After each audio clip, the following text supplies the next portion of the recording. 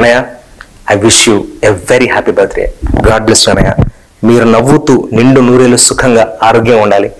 ముఖ్యంగా మీరు సినిమా తర్వాత సినిమా చేస్తూనే ఉండాలి. మీతో ఏదో ఒక సినిమాలో మళ్ళీ నటించే అవకాశం నాకు కావాలి. మీ పుట్టినరోజు అనేసరికి ఎప్పుడు మీ ముందే ఉంటాను నేను. ఎప్పుడు మీ దగ్గర ఉండాలనుకుంటాను నేను. నేనే కాదు ప్రతి ఒక్కరికి ఆరాటం ఉంటుంది.